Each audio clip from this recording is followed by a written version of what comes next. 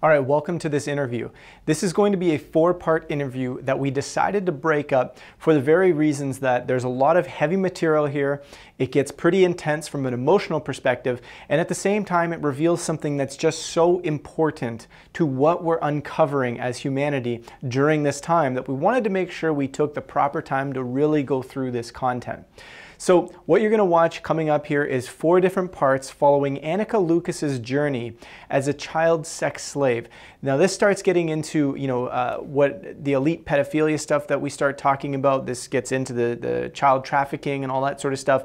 But really this starts looking at a deep you know, uh, I guess you could say puzzle that is starting to form or starting to come together here as we're uncovering and looking at this sort of uh, elite pedophilia that does happen. I know a lot of us want to turn a blind eye to it or want to pretend that it's not happening. And, you know, that's fair. It's fair to be able to say, like, you know, these are dark things if we have to look at this. This is a dark aspect of humanity that we're going to have to face. And maybe I'm not ready or maybe I don't want to face that.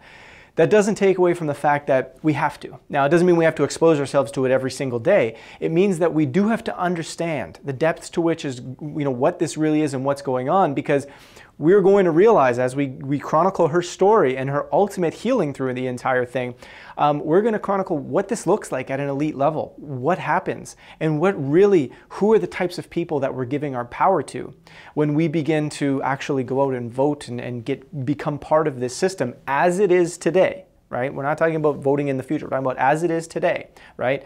This is what these are the types of people that we're sort of keeping in power in, in a lot of different ways because this is a widespread issue. So without further ado, let's get into this. Anneke Lucas shares an incredible story in these first two parts. Be sure to really, really sit down and dive into these ones because they are going to get a little bit intense and we're going to uh, have a meditation at the end of the second part, which is going to be really important in this entire process. So here's Anneke. She's going to tell you her story.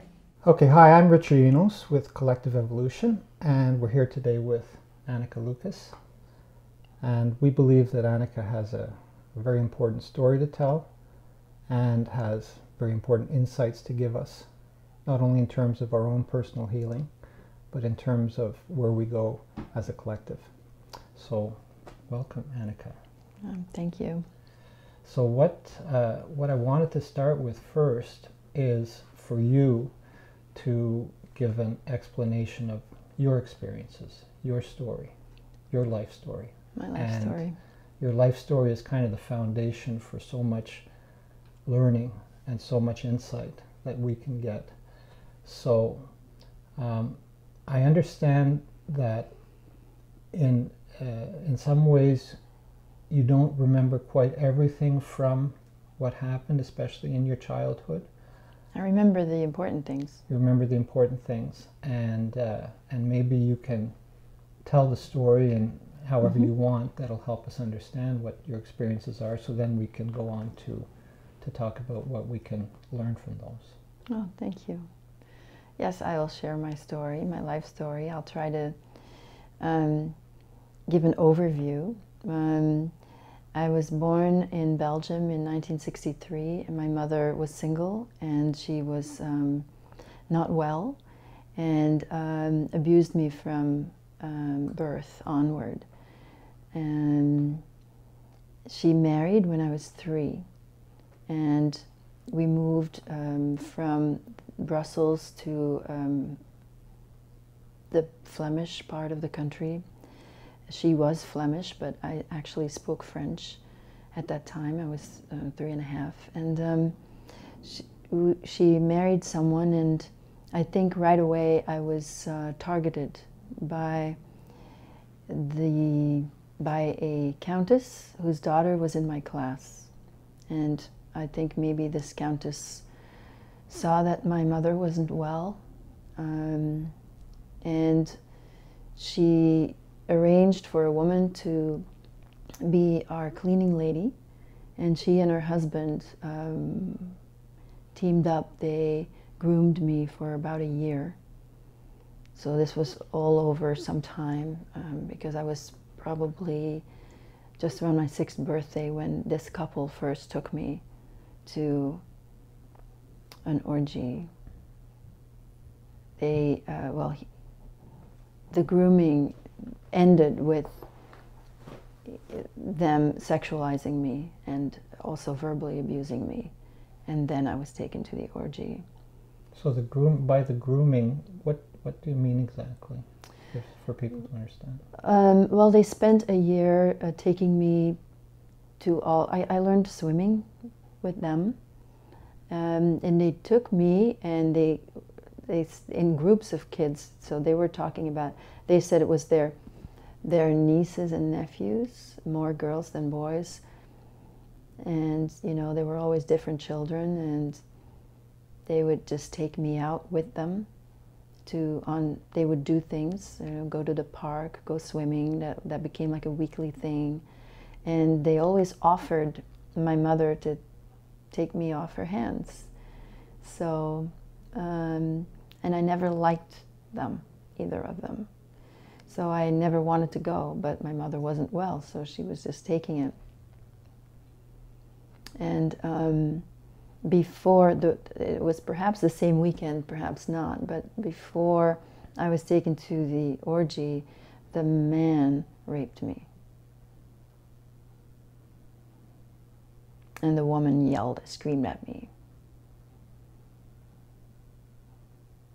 And um, they took me to an, an, orgy where everyone was. Uh, taking drugs and dressed as hippies, but I realized later that they were actually not hippies. They were they were all aristocrats. It was happening in a castle, and um, had um, degrading experiences in that first night. Um, I felt so humiliated. I was made to take part in some, like the man took me on a stage. Um, and that was just right. There were a lot of people around, but most of them were so high, they weren't really paying attention, even though he was abusing me on this stage and I was naked. And then after he had um, done this kind of show with me where he had done really gross things. And he left me there, and I was just left on the lying on this black stage. It was just a low stage like that, but it was in this room, which was kind of a salon, and all these people were just around, and people were actually bar barely paying attention. Um, so I stood up and this was the first time when I knew I had to do something or else I would die in, internally. So I stood up and I, I said, You can't do this to me. I'm going to make sure that you'll all be punished. Um, I spoke about my stepfather, who was the mayor of a village. My stepfather is going to put you all in jail. And then I was taken over by the uh, man who had welcomed us that day um, had basically dealt with the couple who were the, the pimps, and I guess he, uh, they brought uh, three girls that day, and he was uh, disappointed that there wasn't a boy. But my hair was short, so he decided he was going to use me. Um, that hap- had happened before this this show, and now he came back. This I called him an old pederast, and I started getting back into these these uh, circumstances. I started calling him an old an old pederast who liked boys. He was fat. He brought me along very calmly, like you know, um, just like nothing happened like he was my friend. And then I don't quite remember how we got to this place, but we went somewhere else. And we went into an, a basement. It was a large basement, a large cellar, vaulted ceilings. So it was maybe under another mansion or castle, I'm not sure. Or maybe it was the same place, I don't really know. But we were walking for, it seemed like a very long walk, and I thought I was going to get killed. And I tried to just attune myself to him, even though I didn't like him and I felt guilty for not liking him. But he was very casual. He was um, just saying, Well, we know we like you here and we wouldn't want anything to happen to you. And I was um, trying to connect. And then we reached um, the end. There was, it was as if there were several compartments of this cellar. So when we reached the last compartment, there was a, a cement tub that was built into the floor. And uh, there was nothing in the tub, but behind the tub. So when we reached, this um, a, a, body came into view of a, a young, a very young woman, a teen. She seemed like a woman to me because I was just probably just six years old. So he was just casually saying that, you know, he didn't want anything to happen to me and they wanted to keep me. And it was just that I shouldn't say anything, that, you know, we don't want to talk about anything, we don't we want to keep it a secret. So he did that very gently. And, yeah. But the suggestion was very, very clear. Yes. That. Yes, if I speak, I'll be killed. I'll be, I'll be killed, and this is very real because we're looking at a real body.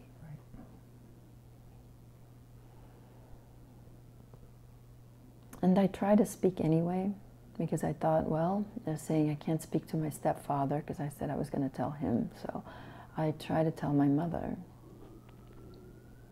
And I'm not sure when, and I'm not sure how many times I went back with this couple, but at some point, my mother took over from them and started driving me there herself. She actually got a car she didn't drive. So she got all excited. She got her driver's license, and because of my stepfather's position as the mayor, she didn't have to do a driving test. So she was proud. She actually took me to get her driver's license, to pick up her driver's license, because she was very proud of it. And then she got a little car, and that was very unusual at the time that people had two cars, two car household in Belgium. I got a little car. She got an automatic car, the only one available at that time, because in Belgium cars were not automatic. So she got the only um, model that had, uh, you know, that was an automatic car, Dutch model, very small, and and then she started to drive me to these places herself. She'd drive me drop me off. She'd never come in. And then the idea was that she would be there at dawn. And if I didn't come out at dawn, she'd just wait. And she'd, she'd get calls from the woman, the countess, who lived in the village, and just take me wherever. Usually it was orgies to castles with uh, aristocrats, and then there were also these other people there. I started to get a sense of the, the people. They were not all aristocrats, they were politicians. Um, I just knew that they were. I learned to measure power then. Like I learned to measure who was, you know, the ones you have to be careful about, the, the ones who had power. Um, and she also would sometimes take me just one to one house, to one man, keep me out of school. There was always a doctor writing notes. So the system of having a child live at home and either their parent, I mean, this was unusual, I think. I, I, I don't think any other children were um, pimped out by their parents. I think the pimps usually infiltrated into the families like these this couple had done. But um, to send the children back home. That was the genius way of having the children available for whenever they needed them. And in the week, I would go to school. And um, when I was nine, um, so there was a boss. There was a boss in the network, and he was clearly the most important person. That person I recognized later was a, a minister. He was an, a cabinet minister in Belgium, and he was also prime minister several times. And um, he and his friends were like the, the group that was clearly running everything. And when I was nine years old, I was sent in a car with two handlers with another child and driven to Switzerland. And um, when we arrived there, we were also sent in a tunnel, another tunnel. We were outside for just a second in the uh, very lovely air, and then there was some um, portal outside that was opened, and we walked through it. And it, yeah, I don't think you could see that it was anything from the outside. It was just a gate, and then we walked in a, a very long underground tunnel, and there were torches on the sides of the walls that were burning with flames. So we got to the end, and the handlers met other handlers there. And then a, a man came out, and he was a perpetrator, and he um, he decided that it was decided there those children were brought there for this man. He was American. He spoke French, and I understood French. So he, he decided that there were two children. One was for him to rape, and one was to be sacrificed. And he decided that the boy should be sacrificed. And, um, well, I knew that boy. I'd spent time with him. And um, he was a little bit backwards, he was a little bit slow. So I felt extremely protective of that boy. And um, I comforted him on the way over in the car.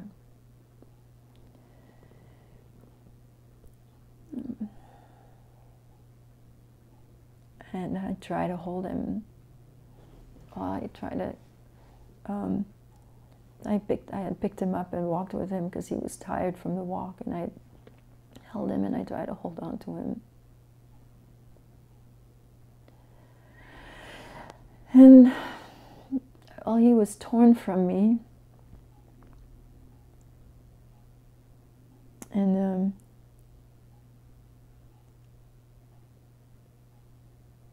this perpetrator, um, this was a very large underground area with a lot of symbols on the floor and fires burning. And there was a large altar, and there was a, a, man who I thought was a baron. I'd known him, he was Belgian. He was the executioner. I found out later, I recognized him in picture, I found out later he was a lawyer at the time, and he became a baron later.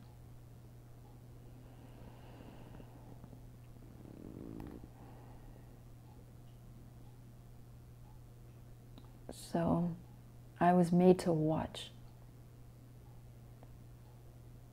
This perpetrator made me watch while he raped me.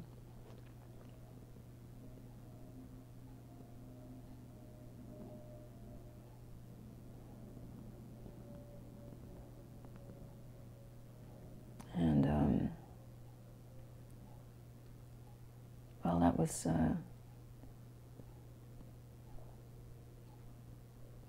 I didn't know if he, I could, I, well, I've, I've, I've never felt that powerless. I felt powerless a lot, but I felt completely powerless there because I couldn't. He screamed. And I could tell that his screams were exciting the people around, that it made them more angry and more violent.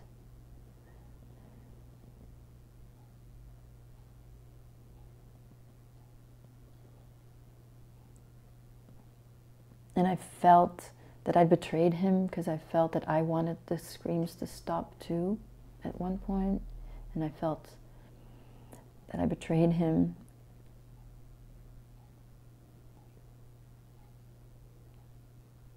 He was uh, seven, seven years old, and I was nine. And I was upset. Oh, so he was butchered. He was butchered slowly. And there was this um, this obsession with the genitals. That was this offering, this offering of his genitals to Satan.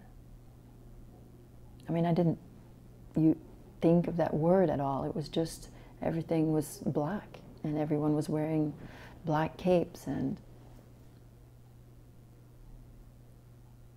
I learned later that that was a satanic um, ritual. And um, so, this perpetrator, I was very upset. And he looked at me threateningly because I, it, it was, I got from him that he thought that I was upset because he had raped me. And I laughed. It was an, I don't know where that laugh came from, but I laughed at the, I was incredulous that maybe he didn't even think that I could be upset about this child that he saw me did he, Did he actually say to you or suggest? No, he didn't say that, but he looked at me threateningly because he looked like he was getting insecure because I was upset. And if I'm upset because he raped me, then I'm mirroring something that he's doing. Right. And so I got the feeling that he thought that I was upset because he had raped me. And that and I'm, therefore I'm a threat. And I laughed because I had been raped many, many times by then. That's not why I was upset. And as I laughed, oh, I thought I'm going to get killed. I thought these thoughts were running through my mind. I'm going to get killed for laughing. But I saw this child emerge from him, insecure. He was uh, suddenly I saw this little boy right. in this perpetrator who's insecure, who who feels that he's the slow one, who feels that he doesn't get it because he didn't know I was laughing. So that he's inse- he was now insecure and um, feeling that he didn't belong with the big kids. I got all this information in this moment from looking at him as I laughed. Um, and then he, I told him, no, I was not upset because I, I was upset about the child. I was not upset about you. And then, as I was tuning in, I started to say, I'm not upset about you. And I, I just started to say, well, you know, the, the, the men that were there had taken off their hoods. And um, most of them were old men, bald, balding, you know, like a lot of politicians, like the bald streak in the middle. And he was clearly older, he was in his 50s clearly, but he had all his hair and he looked very clean, extremely clean and neat. And so I started to say, well, you are, you are, you know, I'm, I'm not upset that you raped me. And I started to flatter him, saying, look at these other, look at these other men, look at these men, you know. And so I started to share this joke that, oh, these men were disgusting looking, and he looked much better. And then, um, strangely, I said he had this long nose, and I thought, in this moment when he was insecure, I thought he's um, very insecure about his nose. He thinks he has an, uh, he's ugly. He feels ugly, like he has an ugly nose. And I said, You have a, a very nice nose. And when I said that, he physically transformed. And his nose actually started to look better and he started to beam. And I suddenly got this myself, I felt myself transforming too. And for the first time, I felt uh, pretty. And he ended up, so this American then ended up thinking I'm sophisticated because I'd laughed. He took me with him to the United States and became a, an important father figure. And being attuned to him, I had to get in the same mindset that, you know, what had happened there, that was not, didn't happen. Well, I thought I was going to get killed when I was being on the jet. I didn't see him when I, when I was on the jet. And I thought I was being, wherever I was going to be taken, I was also going to get killed. And I was um, taken at, I was, it was at JFK, but I was taken by a handler off the, the private jet. Didn't go through customs. He just drove me to a hotel. He put, me in a room, in, in a brown room. So I thought for sure I'm waiting here to just be killed. Then the handler came and got me back, put me in a car, in the back of a car where he was waiting. And he greeted me like, you know, he was really happy to see me. So I uh, spent this time with him, and he educated me about several things. He showed me his way of life. He took me to several of his houses, New York City, um, north of New York. I met his staff.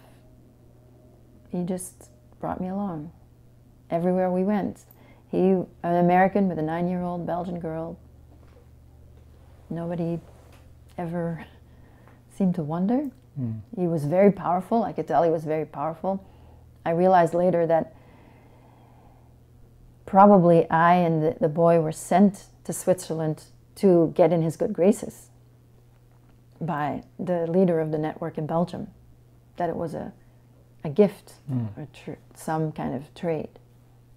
So I spent three weeks, I think, in the United States with this person, sailing with him on his boat um, to Maine to his property there. So he had properties everywhere. He took me to three of them. And he uh, suddenly started rejecting me on the trip to Maine. And um, we stopped over somewhere, saw a friend of his one of the leaders of the families, I later realized. And uh, I heard him talking, and I'm good with languages, so I actually understood what they were saying in English.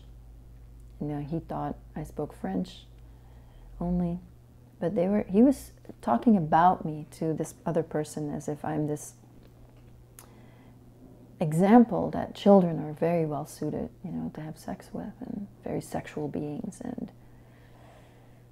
um, it's part of what I think is the agenda sexualizing children and just not recognizing the uh, innate innocence of children.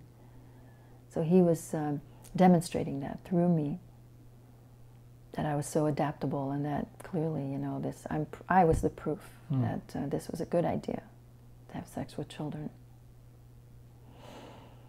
And he bought me a dress. He taught me what good food, I mean, I ate very good food. He taught me how to eat it. He taught me about art. Um, he invested this time and he kept saying that I belonged to his class of people. I belonged to his family even. I never met anyone of his family, but I was in his his houses and so I felt finally I belong somewhere. And I'm also high. I'm connected to him and I'm on this cloud of privilege, which is such a high, incredible. So that alone, you don't need any drugs. You know, just mm-hmm. feel like you're above the world above everything and everyone, and everything was so clean and so beautiful, you know. Um, gosh, even nature seemed more beautiful, like the parts that he owned, because it was all so clean. Right. And um, he sent me back. He, he started to judge me when I got a, a runny nose on the sailboat. So he started to become distant but polite. And then he sent me off, big smile, sent me off back on the jet. But he stayed. He was going to see me again. He sent me off to this, the jet went back to Switzerland. I was picked up by the leader. I was high the whole way through. As I thought I'm loved. I've felt. I found, you know, a father. I'm loved. He's going to see me again. He's going to, you know, bring me into his family somehow. That was my thought. I was convinced that was going to happen. I was picked up by the the the cabinet minister who was the leader of the network at the airport who was really annoyed at having to be the gopher. Clearly, he didn't appreciate having to drive me around, but he took me somewhere right away to a facility close by, and immediately some some tests were done, like some things. I was strapped down in a sort of lab-like setting. I was strapped down. And there were two men in white lab coats and he. And so they took things, they, um, they, they, they, took things from, from my uterus. And, um, and some needles, definitely. And then I was brainwashed. So then I, I was sexually stimulated while I was strapped down, while the, the Belgian was screaming into my ear that if my man leaves me, I'm, I'm worth nothing and I should just kill myself. And my life's worth nothing, just kill yourself. You're this. So there was this, while the sexual stimulation was happening.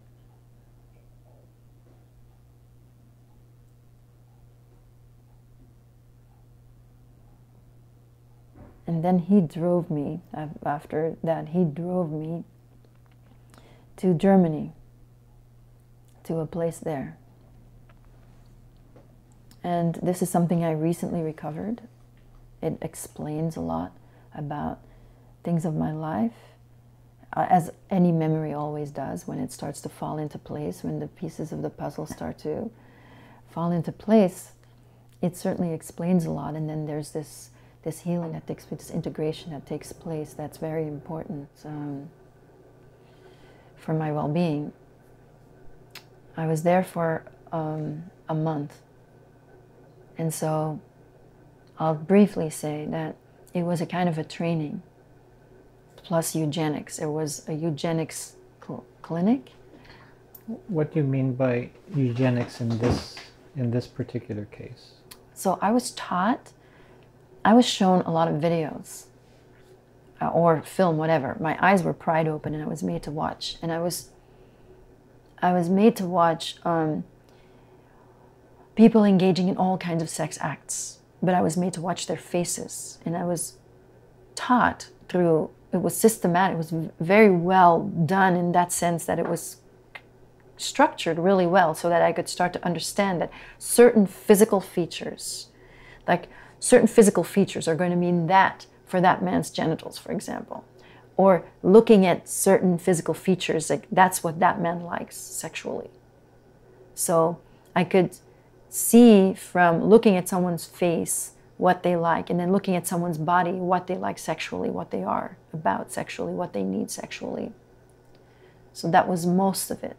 That was most of this training. So I watched a lot of was made to watch a lot of film. But I was also starting to understand because because it was also true. So there's a correlation somehow between the way that the face develops and people's addictions and everything, um, all the trauma is actually all somehow expressed. It's, it's all visible. We just don't usually look at it. We don't usually see it. So I was taught to, to see it. So in this case, you're you feel like you're being brainwashed, but also you're you're getting to understand a deeper truth about you know what things mean when people have certain faces, reactions. Yes, traits. Traits like with the eyes, especially Yeah. around the eyes, especially, it really shows. Like if someone's addicted to sex, for example, there's certain creases that appear, and they're they're always the same. And when someone masturbates, for example, you, there's a certain there's a certain type of other type of crease that appears in, under the eyes. So um, you can see sex addiction very clearly, and then I was made to see all the differentiations of the different kinds of sexual addictions that people have and what because I was being trained to be a sex slave for the elite. Um, but also things were done. So there were there were a lot of things done to my head. Um, and there seems to have been some technology used that we're not that should not have been in 1972 that should not have been used. I think there were lasers used on me. There were lasers put on my body. And there were things performed on my body as well. I don't know. Meaning that the people at that time didn't realize that technology was available. So was it, it was ahead of its time. It was ahead of its time. Yeah. And there was a doctor there, and I, I recently found him. So not only was I made to see all of these videos, but there was also the main doctor there. I didn't see him that often, but he was the main, the leader there. Very scary looking uh, man who I, I found his picture, who uh, was an, a Nazi. He was part of the Nazi party. He was not very active, but then he got a very big public role afterwards as a doctor. And he was interested in eugenics, and he was funded by this American perpetrator. I didn't know that, of course, but I was also, there were also a lot of programs put in place to sort of make sure that I wouldn't remember the doctor's face, for example.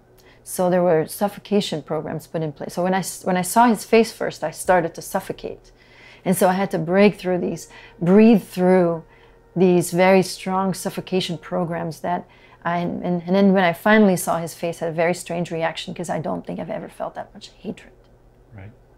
So, so much pure hatred that I just wanted to, to d- somehow, this, this revenge was very, very uh, ripe in, when I saw his face on, online.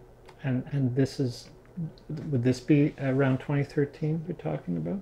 No, no, this is re- more recently. I, I had um, started speaking publicly about what had happened to me in 2013, but this is more recent. This is in the in this past year. Right.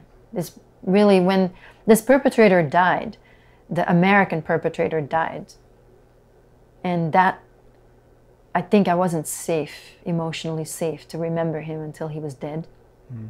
So it was once once he died I saw that that everything started to come back and make sense and just slowly because when a memory comes back it could mean anything it doesn't necessarily mean that it's a memory you know i'm just starting to get these images and i'm starting to it's really not until they are felt until the the feelings that are connected to this and all the repressed all that are that have been repressed for all that time and that have been maybe coming in at inappropriate times when there's Yeah. something triggered Yeah. it's only when those feelings are connected to their Right. original trauma Right. that the integration then happens and then and then know that this actually happens Exactly. You have that rec- that's the key to the recognition of that say, yeah, this is in my past and Yes. there's no doubt about it. there's no doubt i felt it Right. no i cannot doubt it Right.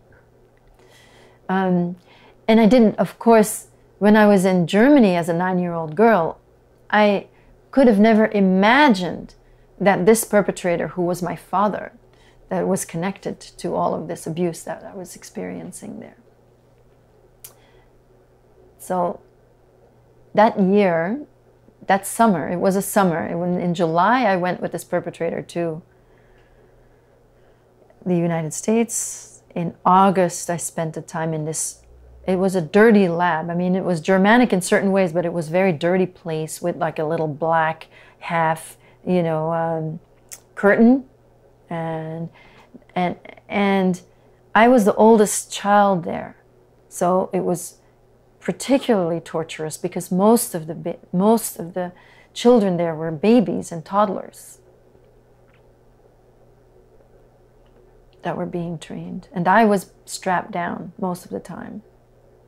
I was strapped on a sort of a cot type thing, so I couldn't. Um, again, you know, this helplessness, this powerlessness that I couldn't, because um, the they were crying, and I was just powerless to to pick them up or to comfort them. And somehow you always, through all this, you always had that care for the innocent, right? Sure. That's I didn't feel innocent, right. but I And felt that, that the other children. The other children. Yeah. Yeah.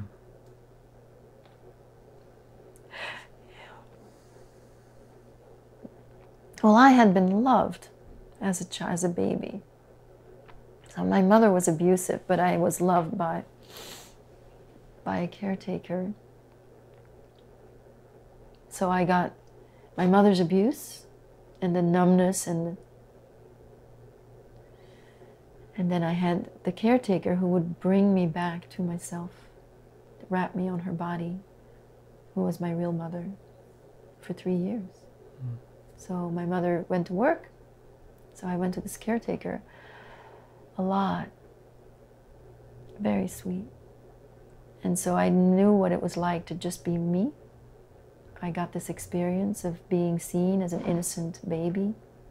And I think because of that, that vibration, you know, it's a vibration. It's this vibration of love, of, of unconditional love that as a baby I was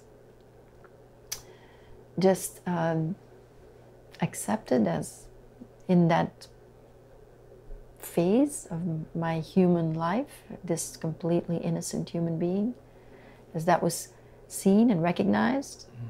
I was then able to have this blueprint inside of what it means. Though I should tell you, I'm not really completely sure about that because I work with people who've been through similar things, and I don't know if all of them have had that experience of being loved, but they still have the heart. Uh, that was the question I was going to ask. I was going to say, without which, without this experience, does everything else, does your the whole rest of your life play out very differently? You think? I think so. But I have to tell you that I'm faced every day with people who have been through as much as I've been through, and they have the same caring, the same love. I mean, we weren't able to express that to each other in the network, and I certainly never did again after the little boy who was who was butchered. Um, I never again allowed myself to hmm. be close to another child. Um, so I didn't really. I suspected that underneath the way that we were pitted against each other, that we really did care for each other. And um, I can speak more about that later, but um, to return to that um, Germany right. lab, I I was so in, in the, I was also brainwashed. So there was also an attempt to to use my head somehow and to uh, I was strapped down, and then uh, and then there were there were things put in my head, big needles put in my head,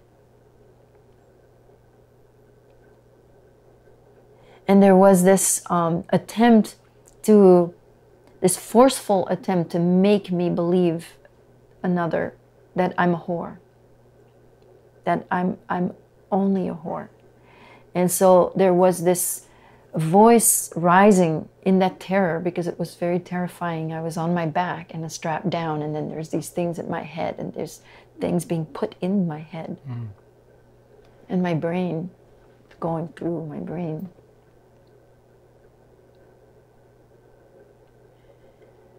So from that, there, um, I was repeating my truth. I am, I am me. I am me. That was my, when my, my affirmation was. But I you am know me. what that I know deeply what that, means. means. Yeah, Which is yeah. I didn't feel innocent, but I perhaps felt that I had access. There was some access. There was a portal there back to it. That I, that's me. That is me. And then I, that uh, everything else that was imposed is not me. So I am me. And so they're doing experiments, and they're doing experiments, and they're thinking and hoping, well, maybe this will work, maybe this will work. And They weren't thinking and hoping. They they knew what they were doing, and usually it did work. okay, Yeah. Yeah, it's more that I was one of the difficult ones always. Okay. understood. Uh. And I was also too old. Okay, yes, like you were saying, they had some very, very young children and babies there, and they were already starting that program. Yeah. The, you know, the the the deliberate dissociating through trauma, so that you can go into an alter and then become the whore or whatever alter, you know, because there's uh, as the whores, there's very many different alters. There's one for each, you know, perpetrator, basically. Right. and that was a month so a month there and that doctor yeah i just there was this this uh, great anger and like ha ha ha i got i see your face i know it's you i know it's you there i had that feeling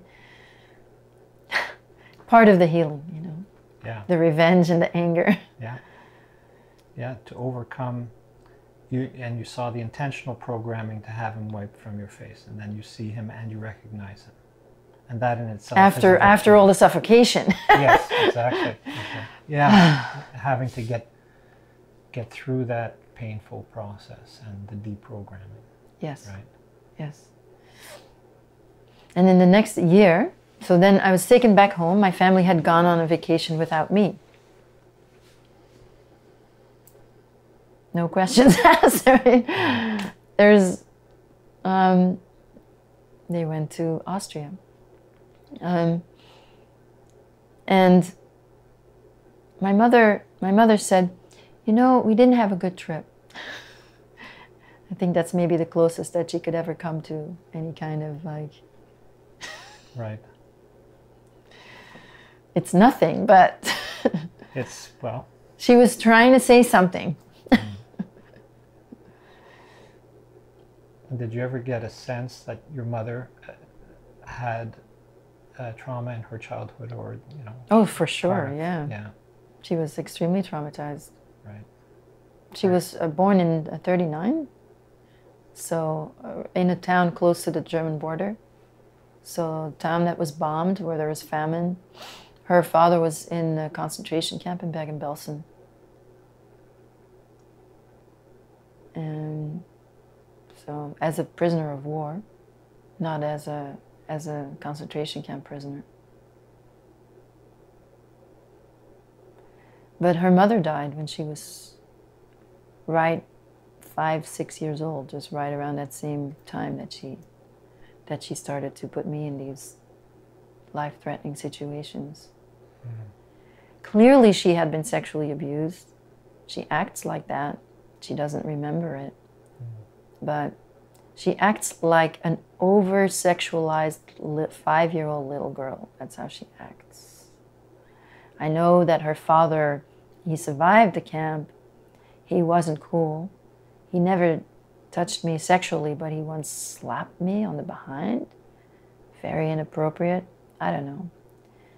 Clearly, she had been sexually abused. I don't know by whom, but never any healing. So there was. She was like this. This. This five-year-old over-sexualized child who firmly believed that men and sex men who would sexualize her or men who were rapists were her. Her, that she had to placate them, and then all the self hatred was imp- was projected onto me. But no sense of anything, no boundaries, no no awareness at all. And did you feel that her family was always part of this network in some way, or there was no No, they weren't. there? No. that's why she didn't go in. She didn't go in. She kind of felt envy. She acted when she dropped me. She acted as if I was gonna got to go to the cool party, mm-hmm. and she, the vi- victim, didn't get to go. So she was so putting me there in her stead. She really wanted to be that celebr sexualized, celebrated for her sexuality child. Know, She wanted to be that. She had this idea that I was going to get a husband. I mean, I was six years old, but she had some idea that there was going to be a marriage coming from that. I was going to marry into. Aristocracy. yeah. Ah, Okay. So let's continue. mm-hmm. Um, having now remembered, so you had that period of a month in Germany. Yes, and afterwards I was taken to Germany several times. So I was going to school, but I was taken out of school a lot to go back to Germany to be deployed as a sex slave for uh, German, um, powerful German people. So I recognized some people, definitely top, top of the power line, Right. that uh, sexually abused me. I learned German. I learned to speak German. I spent enough time there to um, learn the language. And then, and I, I'm not sure, maybe it was about a year later, I saw that American perpetrator back again. Right. And I didn't want to believe that he was connected to this. So, but he started to question me. He, he was very happy to see me. It was first, you know, at first it was like very happy. We're all, and I'm thinking I'm now going to go to America with him, and I'm going to be his daughter, and his family is adopting me. That's what I was thinking. Right. And this this meeting was was sort of planned on his part, right? Mm-hmm. He's it was his time to come back and see you and Mm-hmm. did the next step of Yes. yeah. and it was in a an extremely formal uh, building, a mansion, but it seemed like it's a government building or something, but very beautiful again. But we we didn't meet in a room that had a bed in it. We met in a in a in a in a in another room. I don't know, I don't remember, but there was no bed in it. That's what I remember. Different, Yeah. different from other Different vibe from from other meetings. yeah. Mm-hmm. So, so first he was very happy, and I was very happy, and then I guess I had a an inkling that there was some connection because we were in Germany, and I just wanted to confirm that he wasn't involved. And then he was not so happy. And I told him that, you know, I'd had a very hard time. And um, you know, he said it was to make me strong. Um, and it was the only way, it was the only way that he would be able to see me. Is to see me as a, a sex slave. So, and he had asked me questions about the men that I had seen. So before we got into the, the, the, the grit of everything, he'd uh, asked me questions about these men, and he, he told me what is what's their weakness. Right. So that was part of the programming, also to to spot a man's weakness, just right on. And I I told him what their weakness was. The, the the one who had seen the most often, there were two, but the one that I'd seen the most often, he thought he was a good man. So that was his weakness. And he laughed when I said that. The American laughed because, of course, in his mind, no one's good. And I was thinking, well, he's not good because he's a pedophile, obviously. But that was not on his. That was not really on his mind. Right. But then, when um, I was aware that he was involved, I got angry and terrorized. I felt a terror again. And then he um, he came. I guess what was the end of his cycle, where I had seen his vulnerability, that he felt that he didn't belong when I left, and he didn't know why I was laughing. That he was Yeah. the kid who was always behind Yeah. and couldn't really quite follow the other kids. Right. So now he could say that I did not belong because I was vulgar. I was, he said, I'm, I'm vulgar and that I, he, he should have never given me as much attention as he did because I always just be the lowest of the low and that's who I am. That's why I'm the lowest of the low. That's why, because I'm vulgar. Right. So in the the first situation, you were able to connect with him when you were in the the, the dungeon, the basement, and, and get him feeling good about himself. And this time, your reaction to his involvement in that program, you did make an attempt Exactly. to reconnect and flatter and Yes. get in his good graces and so forth. Exactly. I didn't. I and didn't that- that do. was I didn't play. your right. evolution of your. I don't know. I didn't feel that way. right. in retrospect for sure but what i felt was that the the terror that i'd experienced and the the attempt to keep my soul alive was and that was nothing none of that was conscious. Right. so i felt that i messed up in a really big way. And i just took it all on. I just felt that i it was all my fault. And it's true. You know i could look very sophisticated but at the bottom of it all this belief settled in me that i'm really not worthy. I'm really just the lowest of the low and that's a belief that i held until i recently unlocked all of this that i i never made money in my life now i've privilege you know we're not talking about I've, I've privilege but i never was able to be empowered enough financially so I realized that he needed me to feel that way. That's the connection with the abuse. He needed me to feel that way so that he could feel that he deserved all the billions that came with his family fortune and the billions that he made in his life because I was feeling that I didn't deserve it. And there was this polarity in through the abuse that he constantly this projection I'm sure lasted for the rest of his life and I got to carry it for the for for the rest of his life. So it was at my expense.